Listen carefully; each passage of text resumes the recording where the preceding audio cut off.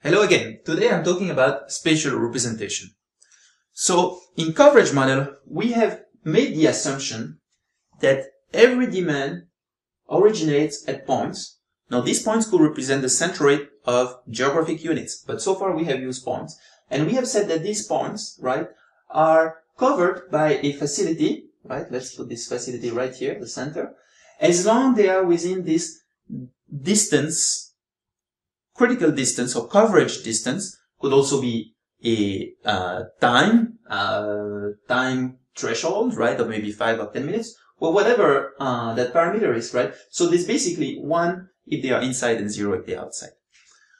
In reality, right, we rarely have um, data that is so disaggregated, or uh, it's sometimes better to actually use uh, polygons. And this is the example to the right, where we have now um, geographic units, right? This could be zip code or it could be census tract, for instance, in the US. For the simplicity, I've also added the centroid so you can compare, right, with the example to the left. Now, if I look at this very carefully, what do I see?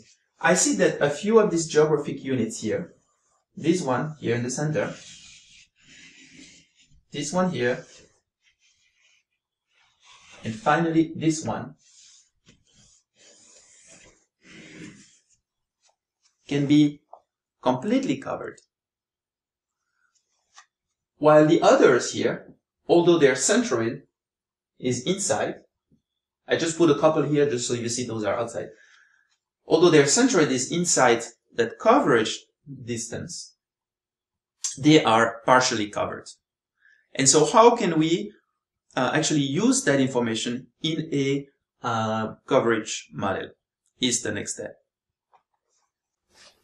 Just for clarification here, I have color coded in red those geographic units that can be partially covered. But then what do we do, right? What do we do with this remaining piece here? So do we say, for instance, that this area can be covered at maybe 80%, right? So this one may be also at maybe 75%, right?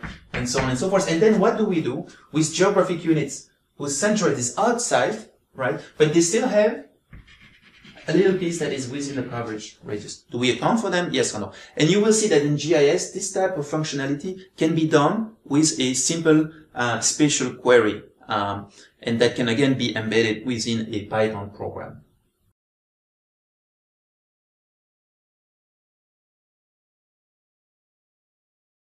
So now let's look into the formulation and prior to the formulation, of course, there might be new decision variables that will be introduced. So the idea here, right, it's, as you can see, it seems a little bit more accurate and maybe more precise because now we're going to say, okay, we can cover 75%, not just a 0, 1. And we're going to be able to uh, track partial coverage. So we introduce a new parameters, beta, and beta is a percentage coverage that is considered acceptable. So again, I could say that as long as this geographic unit is covered maybe 70% of the time, okay, that's good. Um, I have a new set n sub i with a little hat here, right? And that is the set of facilities that can cover at least beta percentage, so let's say 70% of each unit. And then finally I have a new decision variable, v sub i is equal to 1 if complete coverage is provided by two or more facilities for that particular demand um, unit i, and 0 if complete coverage provided by a single facility. So now we can track are there more than one facility that can cover that demand unit? At what level can we cover that particular demand unit? And so on and so forth. And so now we are going to take this um, formulation or, or these different, sorry, decision variables and parameters into the formulation that I will show just now.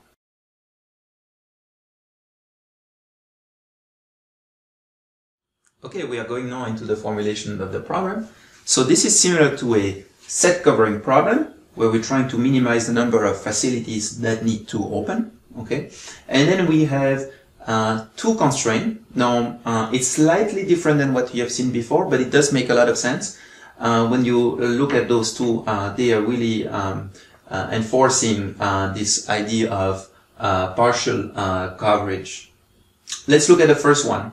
So here um, we have the traditional number of facilities, right, that can cover a demand node should be greater or equal to 1 minus VI. Now, what is VI, if you remember here? So VI is equal to 0 if complete coverage provided by a single facility. So if this is 0, right, so that should be simply that there must be at least one facility that can cover that demand node. Now, the second constraint is a little bit new because now we have the uh, set of facilities here that can provide partial coverage to the demand, right? Remember this is Ni, N sub i with a hat, okay? Um, so the, the summation of these facilities that can provide partial coverage should be greater or equal to 2 times Vi. Now if Vi is 0, V sub i is 0, then we don't need to have any facilities that can provide partial coverage. Because if Vi is 0, then this, you know, must be, uh, must be, that, that constraint must be met, right?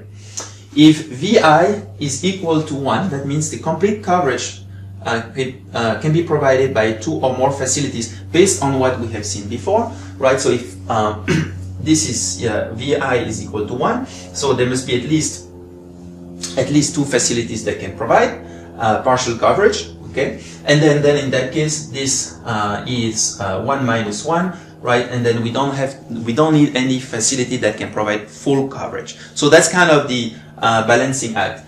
And then finally, you have uh, the integer constraint. Okay, so that's one way to represent partial coverage. There are other ways to do it, um, but I think this is really an improvement on this idea of using the the point as opposed to maybe using a polygon.